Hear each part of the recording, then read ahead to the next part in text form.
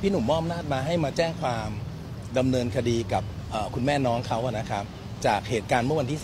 3 ที่มีท่านผู้กำกับนะครับ แจ้งให้สัมภาษณ์เอาไว้กับสื่อ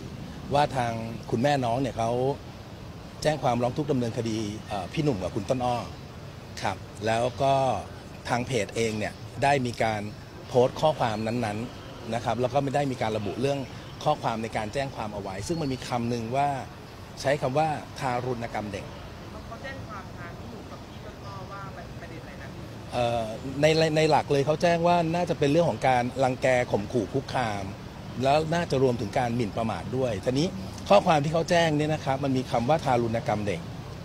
เอ่อผมเองผมมองว่าจากข้อเท็จจริงวันนั้นที่ผมอยู่ในเหตุการณ์ด้วยเนี่ยมันเอ่อพี่หนุ่มกับคุณต้นอ้อเองนะครับไม่ได้มีพฤติการอย่างนั้น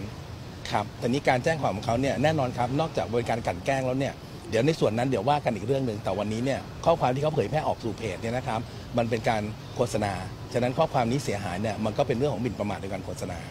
ครับเขาเขาโพสต์ในหน้าเฟซเลยใช่ไหมครัหน้าหน้าเพจนิรมิตเทวาจุติเลยครับเอ่ยชื่อบุคคลถูกเอิ่มเขาเอ่ยชื่อว่าพิธีกรดังท่านหนึ่งกับตออ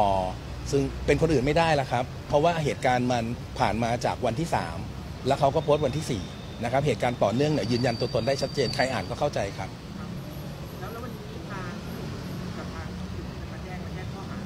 ข้อหาหมิ่นประมาทโดยการโฆษณานะครับ แล้วก็เรียกค่าเสียหายด้วย 10 ล้านบาทในส่วนของพี่หนุ่มครับ10 ล้านครับ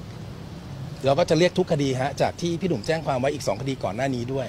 ครับรวม 3 คดีเนี่ยเป็น 30 ล้านครับ